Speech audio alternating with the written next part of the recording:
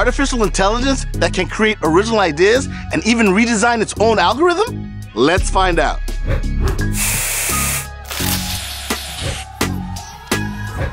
Okay, okay, okay.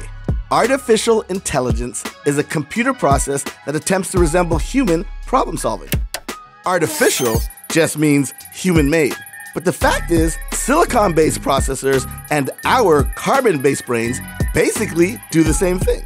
They take in and process data to make informed predictions about what should come next. The big difference is that AI processes much, much faster. I broke it down like this in a previous episode. Imagine you decide to make your grandma's famous spaghetti and meatballs. You do it once, it comes out okay. You make it a hundred times, it's way better. Now imagine you make it 100 million times. All along the way, you are learning new tricks and tweaks, all of which make your dish the best pasta ever. AI has been around for almost a century.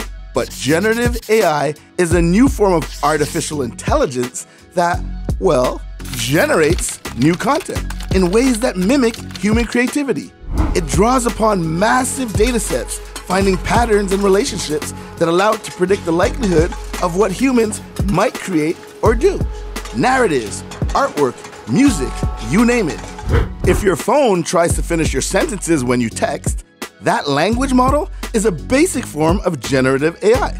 Beyond texting, more advanced generative AI is a game changer because it's not just repeating one process to perfect one outcome, it's creating new things out of the information and instructions within its model.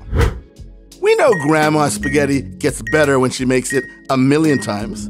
But what if you gathered different recipes from a thousand grandmas?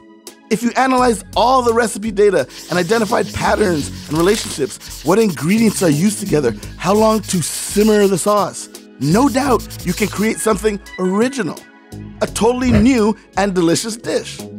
Now imagine getting 1 million grandmas together or a trillion. The potential for new recipes from all that data is practically infinite. Our human brain would take forever to do this work. But generative AI can do it instantly.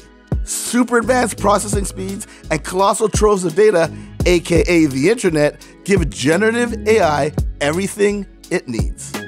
Here's what you gotta remember sometimes the spaghetti will actually suck. Generative AI relies on stats and patterns, not a discerning palate. So while AI might give you the perfect meatball, you may also on occasion get some soggy noodles. Even worse, some poisonous pasta. And that's the rub. AI is not perfect, but neither are we. We can recognize that our own actions, biases, dataset curation, and prompts become the framework for AI's future. So, what can you do? Be cautious to be sure, but be curious and educate yourself to be a responsible user in this exciting new iteration of artificial intelligence.